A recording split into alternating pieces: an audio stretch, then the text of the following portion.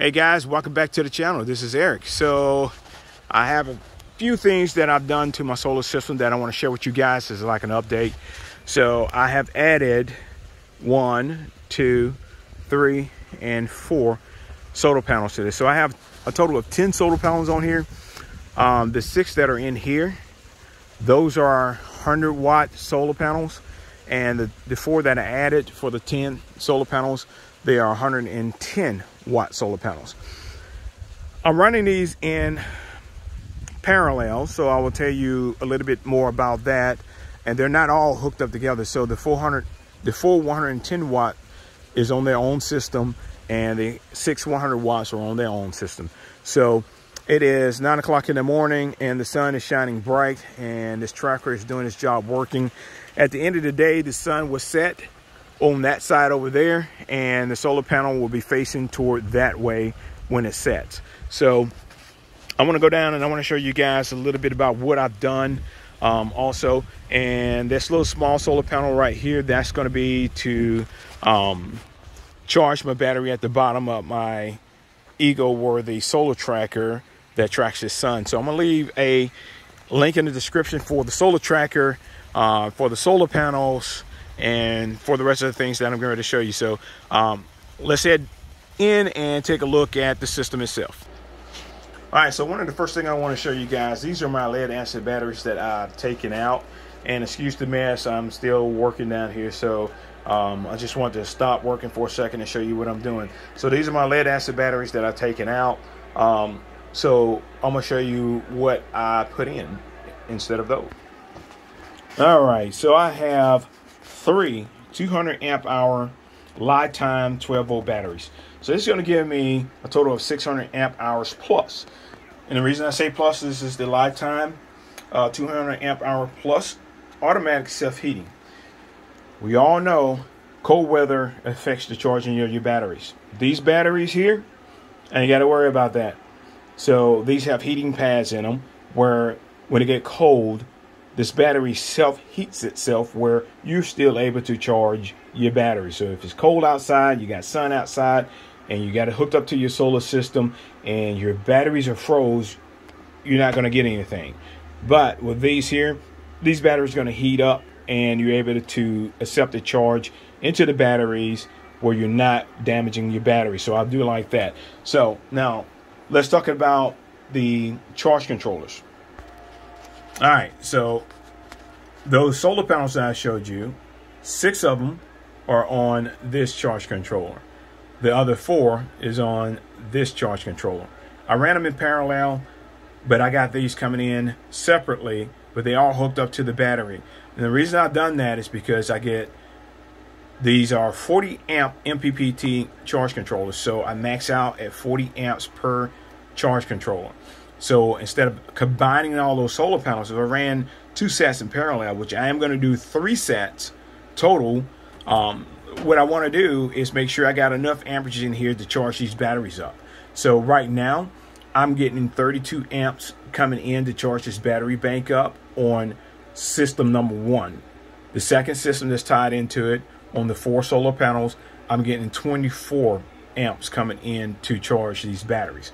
So MPPT charge controllers get the max out of your solar panels to bring enough amperage in to do what you need to do. So I'm, I'm really, really enjoying this. And this system is awesome. And again, you saw that one right there fluctuating. Um, I just straightened back out to 24. The clouds come across. When clouds come across, you'll see them jump a little bit. Um, run them in parallel. I am gonna I am gonna put a third one in here. I'm gonna put it right there. And like I said, I want enough to charge these batteries up in maybe four or five hours when I got a lot of sunlight. But also I want enough storage capacity to run throughout the night to hold things. And I'm gonna tell you what, that right there, this can hold me for a while.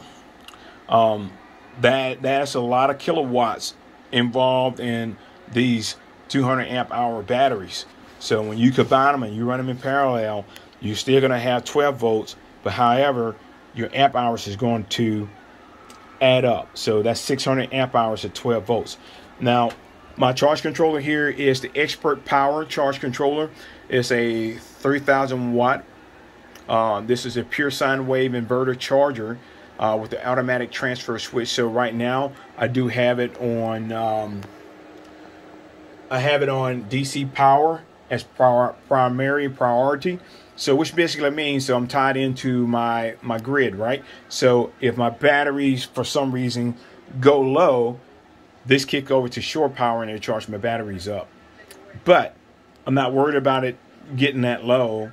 But if I got a a week or two of really cloudy weather, really nasty weather, and I deplete my battery bank, it automatically kicks over, charge these battery bank up to 100% until the sun comes back out, and then I'm working back.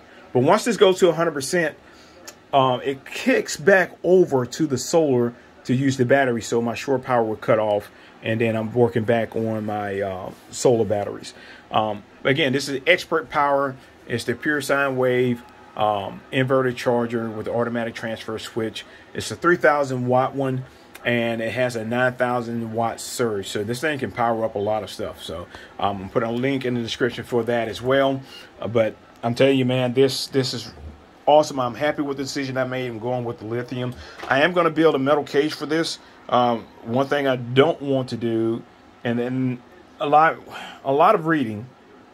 These are not supposed to go up in flames, but uh, I don't want it to go up in flames anyway, but I do want to build a metal box to put all three of these in. Maybe big enough to put a fourth one here and um, encase these so just in case of a fire, then I'm protected.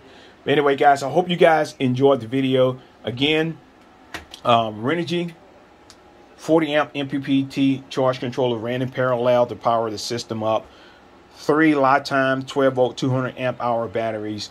Expert Power 3000 watt pure sine wave inverter charger with automatic transfer switch with a 9000 watt surge coupled with right now 10 solar panels, six which are 100 watts, four of them are 110 watt solar panels.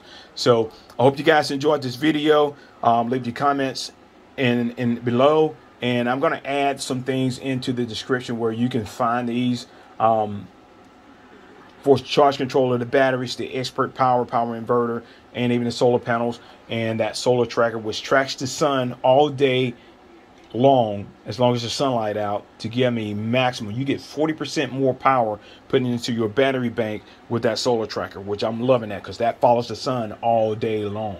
So check it out, guys. Let me know what you think about the video. I greatly appreciate you guys tuning in and watching, and thank you for your time. And if you don't mind, hit that subscribe button, hit the like button, share it. And thank you guys.